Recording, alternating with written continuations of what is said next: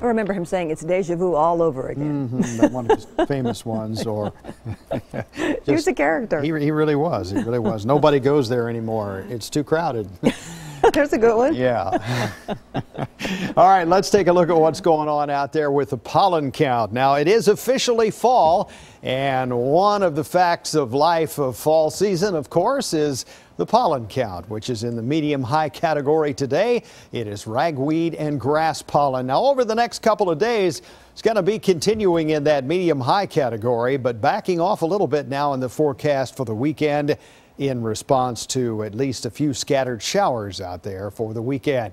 No scattered showers out there today, a few scattered clouds, and it has been a warm first afternoon of fall. 85 degrees in Nashville now. That's the uh, highest temperature so far in the hourly readings. 53 degrees this morning's low. So again, with the dry air, still some pleasantly cool temperatures overnight. Tonight, not quite as cool, but still pretty good. Clarksville, a few scattered clouds out there. You got 83 degrees degrees now after a high of 84.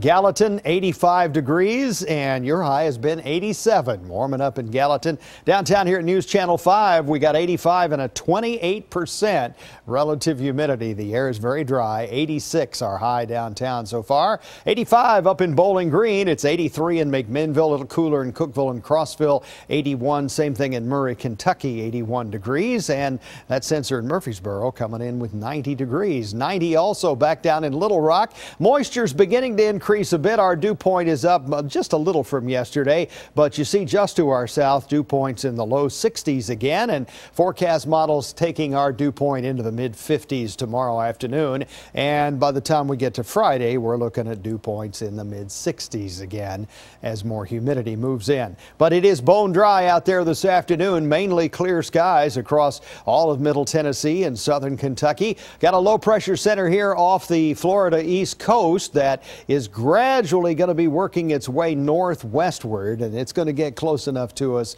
that we will see a few showers. This system, meanwhile, is going to kind of uh, just dissipate as it moves off to the northeast, and uh, it's going to mainly be this moisture coming in from the Atlantic that will be influencing our weather. You can see that on exact track. It is dry tonight, and at 7 o'clock in the morning, just a few clouds out there. During the course of the day tomorrow, there will be enough moisture to call it partly cloudy. Then here we go at 11 o'clock Thursday evening. We begin to see some scattered showers work in. This is at 7 o'clock on Friday, and a few scattered showers at 2 o'clock on Friday afternoon, and there could be a stray thunder shower out there. 7 o'clock in the morning, a few clouds and 61 degrees. Real sky showing a little bit more cloud cover tomorrow.